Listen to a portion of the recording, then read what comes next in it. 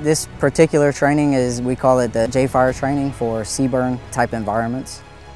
As an instructor, the first thing, first and foremost, uh, we work with LRS to get the actual training gear.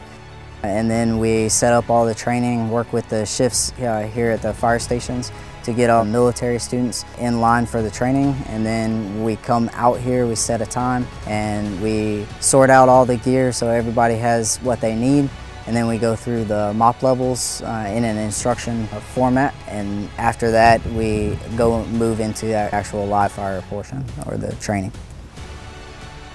When we respond to an actual emergency, we get the call that there's a fire, we will show up on scene. The first thing that we typically do with that is somebody's going to be in the apparatus actually spraying water and modulating uh, around the aircraft to put out any spot fires around the aircraft and then also to cool the aircraft, the fuselage of the aircraft down so that other crews can make entry into the aircraft.